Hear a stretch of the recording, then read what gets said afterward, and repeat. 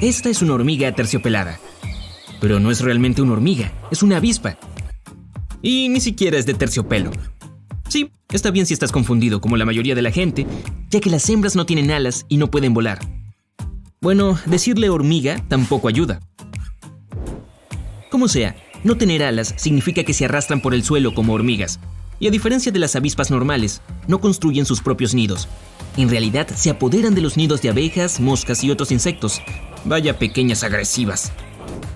Y es muy fácil tomar el hogar de alguien cuando tienes una de las picaduras más fuertes entre todas las avispas. Eso y su exoesqueleto, que es un esqueleto en el exterior. Es como una verdadera armadura. Ambas cosas han permitido que esta impostora de hormiga no tenga casi ningún depredador. Si alguna vez te pica, primero que nada, ¡ay, duele! Y lo hace por horas. Y en segundo lugar, sabrás que fue una hembra porque los machos no pueden picar. Pequeño consuelo, lo sé.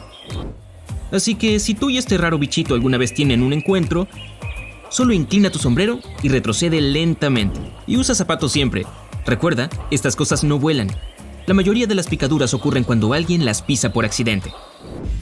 Y si ves a este tipo, tampoco lo pisas. Bueno, si eres lo suficientemente rápido, claro. Estas cosas son súper rápidas. Aunque el cien pies doméstico parezca un monstruo de las películas de terror, está de tu lado. Se alimenta de las plagas que viven en tu casa. Moscas, polillas, cucarachas, termitas, arañas. Todo en el plato de la cena del cien pies. Ah, sí, su mordedura es venenosa, pero el veneno es inofensivo para los humanos. Además, sus diminutas piezas vocales apenas pueden atravesar la piel. Y tus mascotas también están perfectamente a salvo. Si llegas a ver una, déjala seguir con sus asuntos de mantener tu casa limpia y libre de insectos. Ahora, si alguna vez te encuentras con su primo, el cien pies gigante, corre hacia el otro lado. Esta criatura de aspecto de otro mundo puede ser tan larga como tu antebrazo. Y tu miedo está justificado con este. Usualmente no solo come insectos pequeños, también escorpiones, tarántulas, lagartos, ratones y ratas. Incluso se conocen casos de estos tipos yendo tras pájaros, murciélagos y serpientes. El veneno del cien pies gigante es extremadamente potente. Fácilmente detiene su almuerzo en camino. Para los humanos normalmente es superable, aunque no es una experiencia divertida para tomar a la ligera. Mira, mejor no lo toques. La envergadura del avispón gigante japonés es tan amplia que a veces se le llama abeja gorrión gigante, y su aguijón es lo suficientemente largo como para perforar un traje de apicultor así que no pienses que te salvará. Peor aún, estos chicos nunca están solos. Cuando un avispón detecta el peligro, rocía veneno sobre su oponente. Entonces, el olor de ese líquido atrae a sus amigos. En solo segundos, te encontrarás cara a cara con un enjambre de estos colosales zumbadores. Correr puede salvarte, pero prepárate para una carrera de larga distancia. Los avispones gigantes japoneses pueden volar hasta 80 kilómetros al día. Un maratón es la mitad de esa distancia. Y la adorable oruga peluche es irresistiblemente acariciable, como un pequeño bicho gatito. Error, mantén tus manos lejos. Ese pelaje es en realidad un peluquín tóxico de púas venenosas. Cuando algo entra en contacto con él, digamos tu mano, las cerdas se incrustan en la piel. El veneno irrita el sitio. Le sigue una severa sensación de ardor que puede durar hasta una hora y la araña reclusa parda quiere estar tan lejos de ti como tú de ella. Y estas son mayormente pasivas, permaneciendo escondidas fuera de la vista y sin ser molestadas en sótanos, áticos y otros lugares oscuros y tranquilos. Si la molestas por accidente, normalmente se escabulle. Si la provocas, te arrepentirás. Su veneno es muy potente, incluso más fuerte que el de una serpiente de cascabel. Una vez que entra en el cuerpo, el veneno comienza a descomponer los tejidos, robándoles el oxígeno que necesitan para vivir. Los efectos pueden empeorar y durar meses. Pero las reclusas pardas pueden estar sin comida durante casi 10 meses, por lo que es poco probable que este bicho vaya a tu cocina o dormitorio en busca de comida. Así que ahí lo tienes, puedes dormir tranquilo sabiendo eso, ¿cierto? La hormiga Pogonomyrmex maricopa es una de las más venenosas del mundo como el avispón gigante, su veneno sirve como marcador para otros cosechadores y estos vienen al rescate. En este caso, necesita salir de ahí lo antes posible. Una docena de mordeduras tienen suficiente veneno para derribar a una rata de buen tamaño. Y esta no es una picadura de una vez y se acabó. Estas hormigas pueden inyectar su veneno varias veces. Ahora imagina esto. Estás arropado en la noche, durmiendo en tu cama caliente, pero en medio de la noche ves un visitante no deseado. Se arrastra a través de las mantas hasta tu cara. Encuentra tus labios y ¡mua! Te besa. Y cuando digo beso, quiero decir eh, mordisco.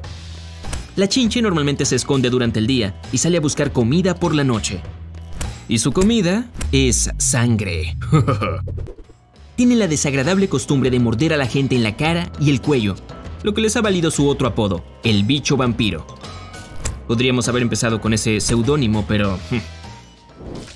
Ahora, la mosca tsetse vive en África y se parece a cualquier mosca ordinaria. Pero si la ves, corre con toda la fuerza de tu cuerpo. Si te pica y no la tratas de inmediato, generalmente no se sobrevive luego de unos meses. Y estas cosas han estado aterrorizando la Tierra por más de 30 millones de años. Yo no estaba aquí en ese entonces, pero en aquel tiempo el mundo animal entero se veía completamente distinto. El clima tropical húmedo de todo el planeta ayudó a las tsetse a sentirse cómodas y multiplicarse. Ahora pasemos al sur de Asia, donde se encuentra el escorpión rojo indio. Es del tamaño de un dedo, pero es uno de los más venenosos de todo el planeta. La mayoría se ocupa de sus propios asuntos, alimentándose de insectos o incluso pequeños lagartos, pero tienen el hábito de vivir cerca de asentamientos humanos, especialmente en zonas rurales. Y ahí es donde los accidentes ocurren a menudo. Luego de un largo día de atrapar comida y hacer, ya sabes, cosas de escorpiones, a estos chicos les gusta meterse en la cama de alguien por la noche o temprano en la mañana. O simplemente se caen del techo justo sobre ti cuando duermes todo tranquilo. Solo imaginarlo alimenta mis pesadillas. Ahora, la araña más infame de todas, la viuda negra. Ah, no puedes perdértela. Este icónico reloj de arena rojo en su vientre, esta diminuta arañita del tamaño de una uña da un buen puñetazo. Altamente venenosa, listo. Y el veneno va directamente a tu sistema nervioso. Eso es lo suficientemente potente como para causar calambres musculares y espasmos en cuestión de horas. La buena noticia es que los humanos usualmente sobreviven. La diminuta telaraña de la viuda negra es sorprendentemente fuerte. Puede sostener fácilmente a un lagarto o un sapo, y sí, obtuvo el famoso nombre porque tiende a... Mmm, engullir a su pareja. El título de La araña más venenosa del mundo pertenece a la araña de embudo australiana. ¿Aplausos, por favor? Sí, con eso basta. El nombre viene de la forma de la telaraña que crea. Luce como si observaras un tornado desde arriba. Es grande, peligrosa y rápida. Esta siniestra araña puede agarrar a su presa con firmeza y morder varias veces. Si ocurre que tu piel es el objetivo, tienes menos de una hora para conseguir un antídoto. Pero no todos los terrores son grandes. Algunos se sientan cómodamente en las puntas de la hierba y esperan a que su almuerzo pase. Oh, mira, es tu pierna. El monstruo se agarra y te convierte en una caja de jugo humana. Las garrapatas pueden ser pequeñas, pero eso es lo que las hace tan temibles. Pueden esconderse en cualquier parte, tu césped, arbustos, en el suelo, en las hojas. Apenas puedes sentir que se arrastran sobre ti y su mordedura pasa desapercibida. A veces incluso pueden enfermar a una persona. Ahora, ¿alguna idea del insecto más peligroso del mundo? Hemos tenido muchos contendientes, arañas venenosas, hormigas despiadadas y cien pies causantes de pesadillas. Pero los que más estragos causan en la población humana son los mosquitos. No son venenosos y su picadura no duele, son las enfermedades que portan. Los mosquitos son excelentes cazadores. Tienen un órgano especial que detecta el dióxido de carbono que producimos al respirar. Una vez que encuentran su objetivo, pueden beber tres veces su peso en sangre. Estos vampiros son una de las especies más antiguas de nuestro planeta. Se remontan a más de 200 millones de años. El pobre T-Rex no podría ni siquiera aplastar a uno con esos diminutos bracitos.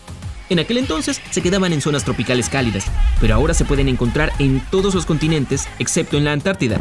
Ah, esos afortunados pingüinos. Y los humanos tienen la culpa de eso.